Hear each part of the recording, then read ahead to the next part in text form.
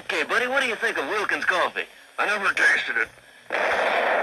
Now, what do you think of Wilkins? I never tasted it. Now, what do you think of... I never tasted it. Now, what do you think of caramel milk? I never tasted it. Now, what do you think of Marita bread? I never tasted it. Now, what do you think of tasty bread? Never